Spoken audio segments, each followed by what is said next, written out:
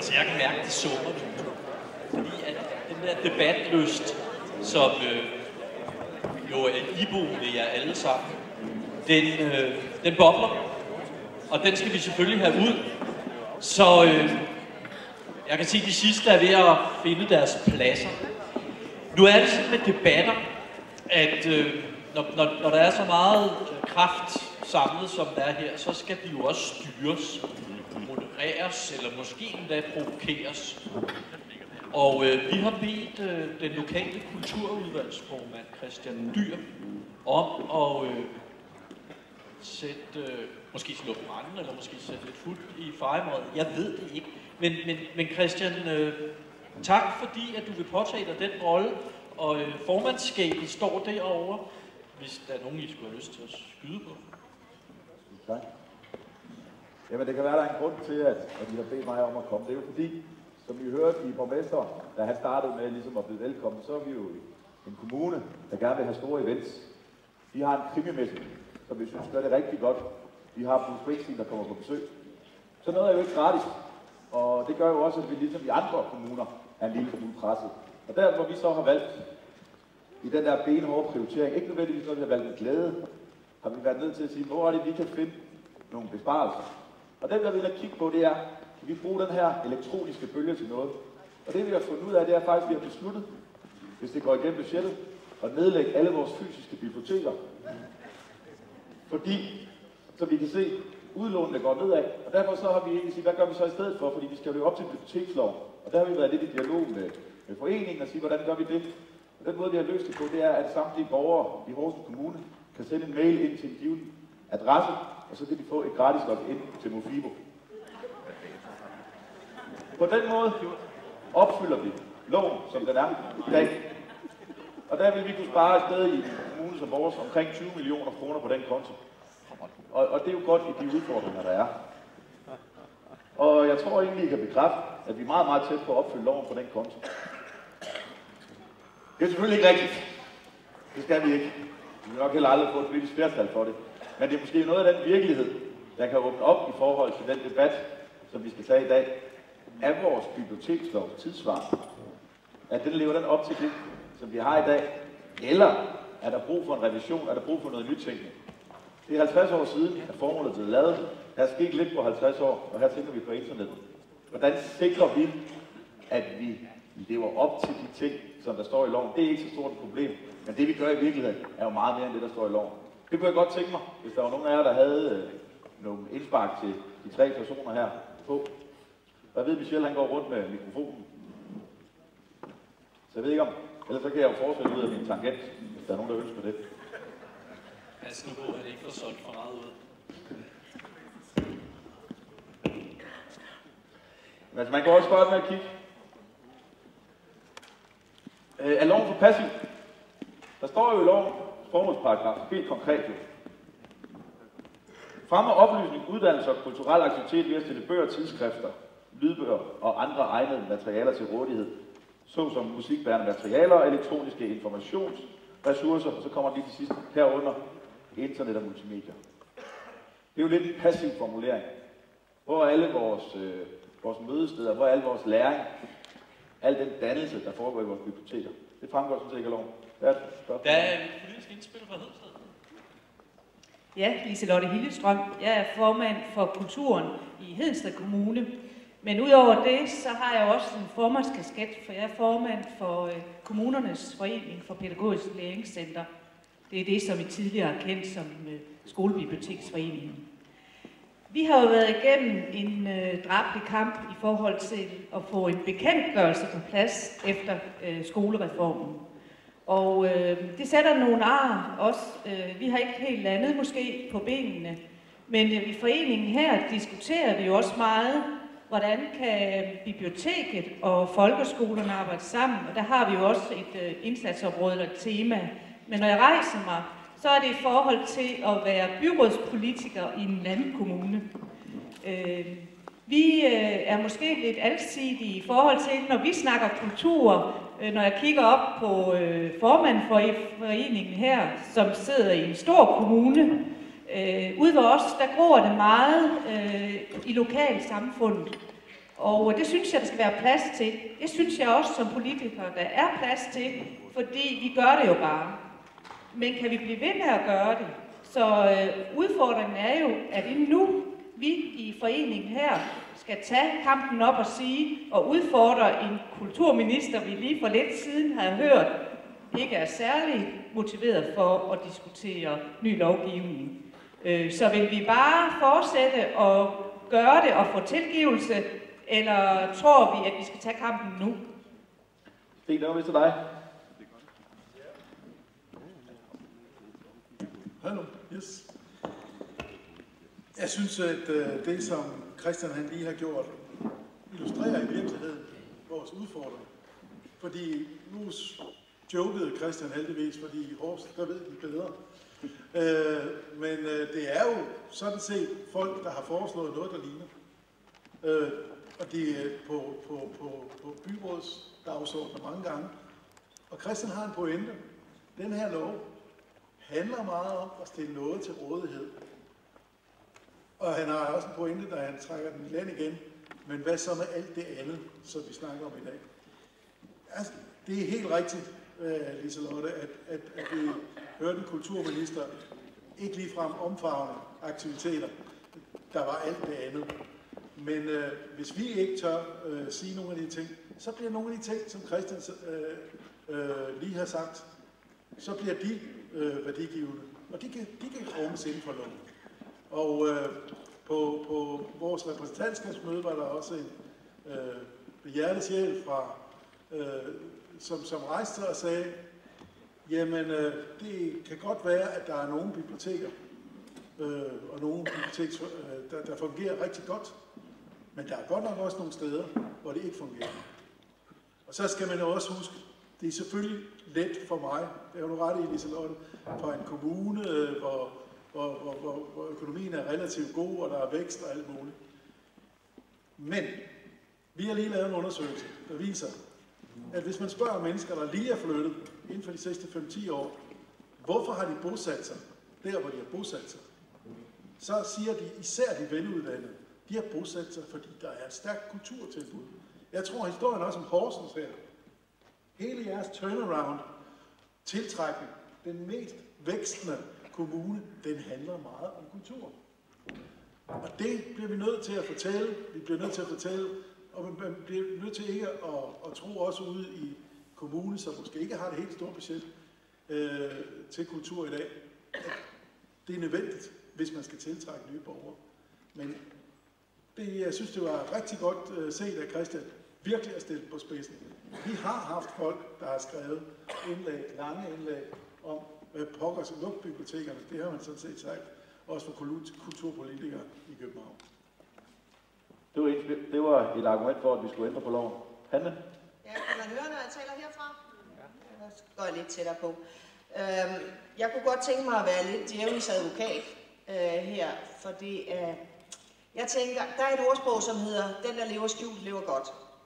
Og man må jo sige, at vores rammelov omkring bibliotekerne, den har vel nærmest levet skjult. Altså, der er formentlig ikke nogen af jer, der har kigget på lovgivningen for at finde ud af, hvordan skal vi udvikle vores bibliotek. Og hvis jeg hører, hvad ministeren, eller tænker over, hvad ministeren sagde, så er det noget med læsning, det er meget, meget vigtigt. Kunne man forestille sig, at en ny lov ville indeholde krav omkring, hvordan at bibliotekerne i særlig grad havde en forpligtelse omkring læsning? Kunne man forestille sig det? Kunne man forestille sig, at der var særlige krav omkring etnicitet eller det modsatte? Altså, der er rigtig mange ting, som bliver bragt i spil, og, og vi er jo klaret det ganske fortrinligt med den nuværende lov. Det må man jo ikke sige. Der, der, er, jo, der er jo sket en stor udvikling på trods af loven. En ny lov, der binder os på hænder og fødder af frygten. Kirsten? Ja. Ny lov. Ja, måske. Debatten er i hvert fald enormt vigtig. Øhm, det handler ikke udelukkende om den der funktion som debatskabende øhm, demokratisk rolle, som biblioteket har og tager, kan tage og kan tage endnu mere. Jeg synes, det handler om alt det, vi gør.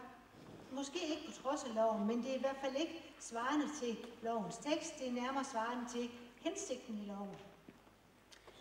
Alt det med, med mødested, øh, det tredje sted, eller hvad man skal kalde det, alle læringsaktiviteterne og de debatskabende aktiviteter.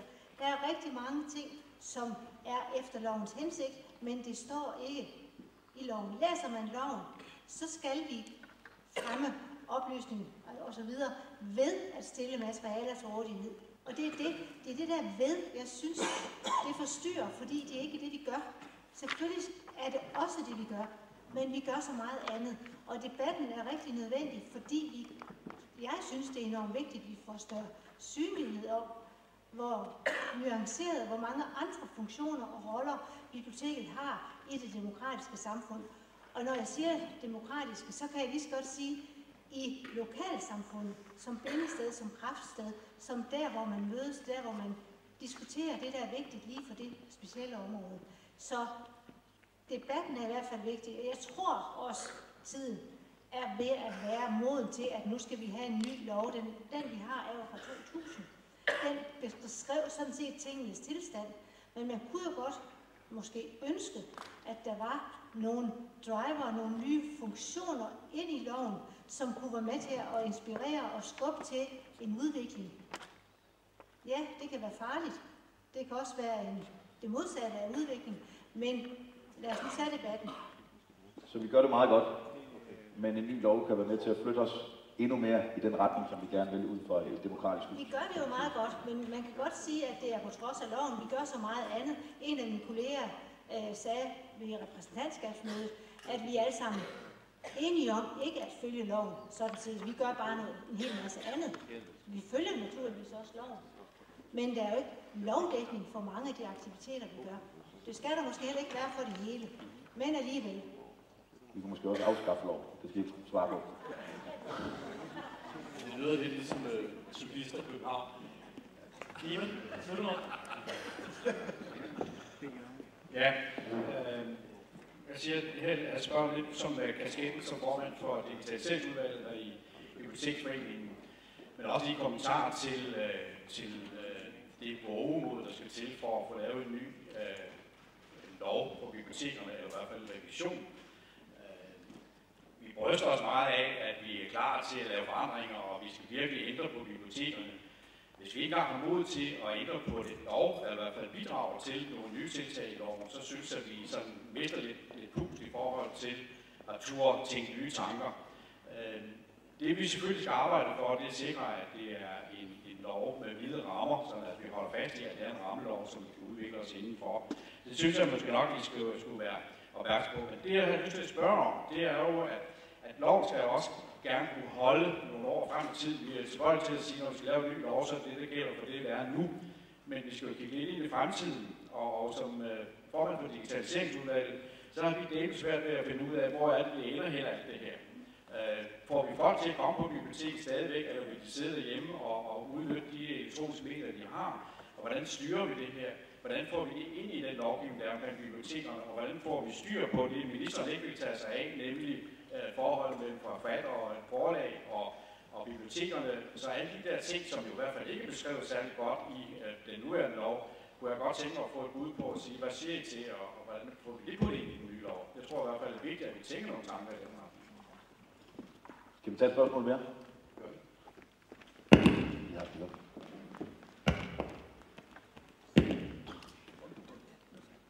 Tine Jørgensen.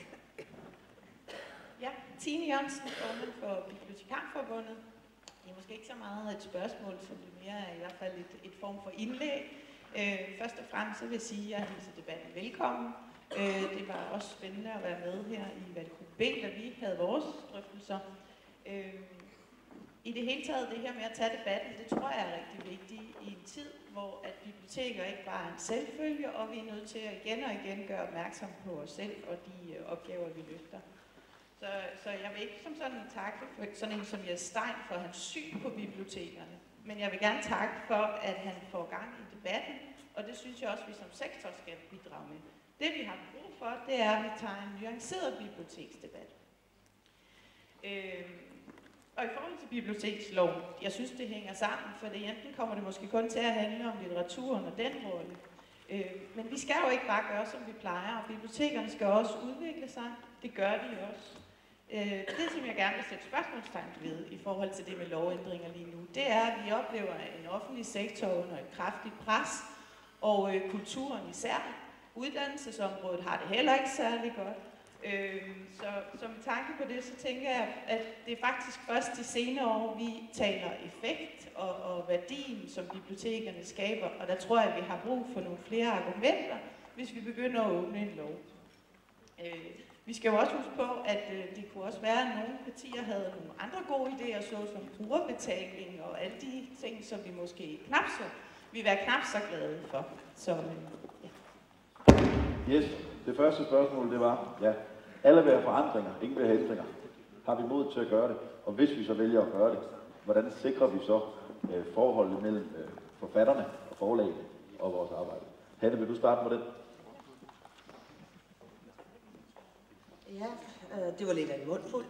Øh, men altså selvfølgelig synes jeg, at vi skal tage øh, debatten omkring en, en mulig ændring af biblioteksloven. Og jeg tænker også, at det er måske heller ikke for, at den skal ske, eller det skal sættes i værk til næste år. Det er måske en proces. Og jeg tænker, at i virkeligheden øh, kunne det måske være en anledning for os alle sammen til at bringe biblioteksloven med hjem i vores kulturudvalg. Og så sige, jamen er det, er det sådan, vi vil have vores bibliotek? Hvad er det for noget, vi har nu? Og hvor er det, vi er på vej hen? Hvad er det for ændringer, der skulle til for, at det matchede de øh, visioner, vi har for vores bibliotek, deres engagement øh, i forhold til, øh, til udviklingen og øh, læring og dannelse, og hvad der nu ellers er øh, inden for den her ramme. Tilbage til de der forfattere. Altså jeg synes jo, den er lidt, øh, den er jo en anelse vanskelig, når nu at øh, øh de største øh, ikke ønsker øh, at deltage i e-regionen. Øhm, og det, den bliver jo sådan set ikke nemmere af, at ministeren synes, det er noget, parterne selv skal løse. Så jeg er, beklager meget, men jeg er altså ikke i stand til øh, at komme med løsningen på det. Men jeg synes, det er et problem. Altså selv om udlånet det stiger, så øh, på, på e-regionen, så synes jeg, det er et problem, øh, at så mange bøger ikke er tilgængelige øh, for os som borgere på e-regionen, altså et gratis element. Og det synes jeg faktisk er et problem, hvis man læser på den gamle bibliotekslov. Sten, det offentlige er under pres. Hvorfor så lave det om nu? Vi kunne risikere for noget, der var ringer. Ja, og kan vi få noget, der ringer? Altså, nu gjorde jeg med vilje meget lidt ud af øh, den her med, at, at vores budgetter beskrumper. Det er en, en ting, som sker på mange ting i offentlige, som, som du lige siger, øh, Christian, men, men bibliotekssektoren har sådan set været en af dem, der er ramt allerhårdest. Så går det godt. Er det godt at leve skjult? Det synes jeg godt nok ikke, at det er. Øh, Øh, og jeg ved også godt, at Hanne, hun har skulle påtage sig en rolle her. Men, men det går jo faktisk ikke specielt godt, hvis man ser ind i, i ret store nedskæringer, som vi har gjort i nogle år. Øh, så derfor er det rigtig vigtigt at fortælle den her historie. Og så til det her, øh, Ivan snakker om e-bøger, og, og det er fuldstændig rigtigt, som Hanne siger, det er ikke så lige noget, vi kan løse. Der havde vi sådan set en strategi for en 3-4 år siden, hvor jeg også var i FU, øh, hvor, hvor vi netop også dukkede nakken og blev værd med at komme med konfrontatoriske indlæg, eller blev værd med at stå op. Det hjalp ikke noget. Vi bliver nødt til at at tage en debat upfront med forlag, og det største forlag inden for den digitale sektor, de er nemlig med i, i e-regionen. Det kunne jo også godt være, at nogle af de her forlag, som har trukket sig nu, som er pænt store, har en alt for defensiv tilgang til det at have digitale bøger. Vi er i dialog med dem konstant. Øh, vi giver ikke op på den her debat. Vi holder absolut ikke mund hver eneste gang, der kommer en mærkeligste forslag, som for eksempel privatisere en forening øh, som, som e-regionen. Vi tager debatten. Det skal vi også gøre på, på det her område. Så derfor synes jeg, det er rigtig vigtigt, hvis vi først giver op eller dukker os, så kan vi bare se ind i en, en, en stadig stigende nedskæring. Og vi skal selvfølgelig også hele tiden fortælle om, hvor meget biblioteket kan af alt det andet. Ja, politikerne havde ikke svaret på, hvordan vi skulle løse det med forfatterne. Så det kan være, du har, Kirsten. Øhm, så, nej, det har jeg ikke. Øhm, men måske alligevel lidt elementer til svaret, fordi jeg mener faktisk ikke, at vi kan som forening eller i for, form af en lovgivning tvinge nogle forlag, skorstræk forfattere, til at stille deres, øh, deres værker til rådighed. Men der kan i hvert fald i loven være en passus om, at bibliotekerne også har pligt til øh, e-udlån, eller hvordan man nu skal formulere det. En anden ting er, at øh, de forfatterpenge, som faktisk lige er blevet udbetalt nu, jamen der skal man også honorere øh, de forfattere, eller de værker, forfatterne har, som e-bøger, som e-lydbog osv. Det er i hvert fald et skridt på vejen. Så det, vil, det tror jeg helt klart vil være en hjælp, hvis man ligesom får, får de der ting på plads. Men forhandlingerne mellem forlag og biblioteker, E-reolen, foreningen E-regionen, og der er DDB jo også ind over. Det tror jeg altså ikke, vi kommer udenom. Der er man nødt til at lave nogle fornuftige aftaler, som både biblioteker og forfattere, skråstrej forlag også kan leve med. Jeg tror ikke, vi kan lovgive os ud af lige præcis den del. Vi trykker lidt på pengepunkten. Så kommer de med af dit bud. Er der andre spørgsmål udsalg? Det er der, ja. Rune Vestergaard, jeg er formand for Bibliotekschefforeningen. Jeg vil skynde mig at starte med at sige tak til Danmarks Biblioteksforening for både samarbejdet generelt, det håber jeg også fortsætter efter indlægget her, øh, og, også, og også for at rejse debatten. Jeg synes om, om debatten om en ny bibliotekslov. Jeg synes, man skal i hvert fald først og fremmest hæfte sig ved, hvad er egentlig formålet med at ændre den bibliotekslov. Som jeg hører Slots- og Kulturstyrelsen, så har man ikke problemer med at rumme de mange forskellige aktiviteter, der sker rundt omkring inden for bibliotekslovens formuleringer. Det er ikke derfra behovet opstår. Så er der kommuner, som øh, arbejder meget med mange forskellige typer, kaster sig ud i meget og meget. Øh, det går jo egentlig meget godt. Der må være en politisk opbakning til det. Øh, der må være en forståelse af, hvad det er, der foregår. Er det så for at ramme kommuner, som ikke gør det? Er det dem, vi gerne vil også have til at løfte sig op på et eller andet bestemt niveau? Eller hvad er formålet? Det er ikke som om, at det kun skulle være det eneste, der kan være mange andre ting. Ser man på økonomien for bibliotekerne i forhold til de øvrige kulturområder, så er der fortsat en nedskæringstendens, hvor biblioteksområdet bidrager til det øvrige kulturområdes udvikling. Og det er jo også nogle prioriteringer. Jeg tror heller ikke, at en ny bibliotekslov måske vil komme til at ændre det. Men jeg hæfter mig ved et ord, der blev sagt, og det er mod til at debattere det. Det er jeg enig i. Men der er måske også mod til at udleve det. Altså at gøre biblioteket til også nogle gange det kontroversielle mødested. At vi alle sammen har mod til at stille os op på det, og virkelig gøre det til det demokratiske, det demokratiske mødested. Og der, jeg tror ikke nødvendigvis, det behøver en bibliotekslovsændring, men det behøver i hvert fald et mod fra os alle sammen til at kaste os ud i det, og det vil også være med til at synliggøre biblioteket. Den skal jeg lov at svare på. Skal vi lade Kirsten svare først den her gang, så går det lidt på skift. Sten han var ellers klar, men, øh, men det, er, det er jo demokrati, vi diskuterer. Så. Mod til at, til at gøre, og hvorfor skal vi lave det om? Det fungerer jo godt. Er det for at trykke de kommuner, som i forvejen måske er presset økonomisk? Øh, jeg synes, det ville være meget uheldigt, hvis vi skal lave noget om for at trykke på nogen. Det er ikke det, der er hensigten. Det er i hvert fald ikke det, der er biblioteksforeningens hensigt, fordi vi ved godt, hvor, hvordan kompetencerne ligger på det område. Øhm, jeg synes, det vi hørte fra øh, Marianne Scheide omkring det, at de fik en passus ind i formålet om, at biblioteket skulle være det uafhængige rum for debat, eller uafhængige debatforum, eller arena for debat. Det har i den grad været med til at løfte bibliotekerne. Hun kaldte det endda bibliotekernes guldalder. Mere opbakning, mere politisk synlighed, mange flere gæster, og i det hele taget biblioteket som et lokalt omdrejningspunkt for den demokratiske debat. Ikke kun de store racisme-debatter og andet kontroversielt, men også for eksempel et punkt i Norge, som kan lave meget debat, nemlig hvad er vejnavnene ude i de små bygder. Jeg mener store og små debatter, men det at biblioteket får en formel rolle i demokratiet, det har i hvert fald været med til at løfte biblioteket et andet sted hen, end det var før. Det kunne i hvert fald for mig at se være et, et argument for, at vi skal prøve noget andet med biblioteksloven. Vi kan godt rumme de aktiviteter, eller vi gør det i hvert fald. Vi har de aktiviteter med den lov, vi har.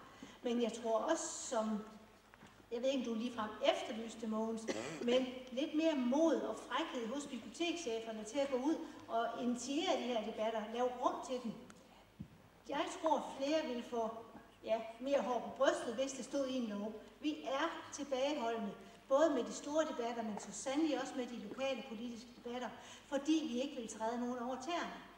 Så ja, jeg tror, hvis vi får en ny lov, så vil der være nogle driver i den lov, som vil skubbe til en biblioteksudvikling. Og igen, det er ikke for at træde på nogen eller skubbe på nogen specielt, men det skal være noget, der kan løfte bibliotekerne i fællesskabet. Debatten er i hvert fald enormt vigtig, vi tager den nu. Vi er ikke færdige med at debattere, om vi skal have en ny lov. Mod, Sanne. Det manglede du før, så vi skulle lade den være.